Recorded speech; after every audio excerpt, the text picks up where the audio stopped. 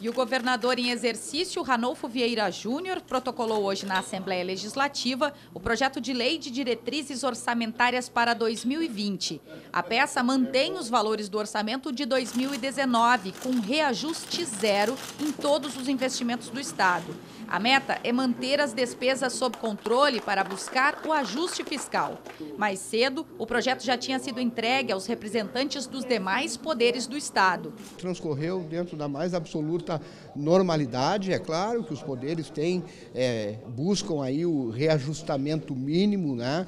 É, isso foi, foi considerado por eles, enfim, mas agora o, a LDO está na Assembleia Legislativa e aqui é o local, é o palco adequado para que se faça a discussão a respeito do que contém na Lei de Diretrizes Orçamentárias. A LDO prevê um déficit orçamentário para 2020 que supera os 4 bilhões e 300 milhões de reais. A opção do governo foi apresentar um orçamento que prevê o desequilíbrio, mas considerado realista. E a gente está encaminhando um orçamento que ele não tem receitas extraordinárias, ah, que não se realizam, são somente aquelas receitas que realmente têm uma probabilidade de serem realizadas e também é, uma meta de crescimento zero. O limite de expansão zero é para tesouro.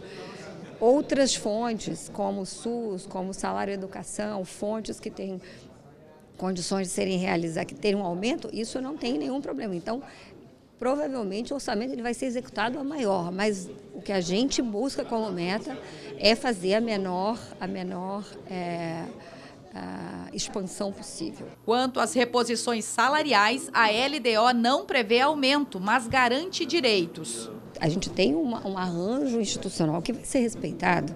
Então não está em nenhum momento escrito na LDO que não serão pagos direitos. Direitos serão pagos, mas isso custa.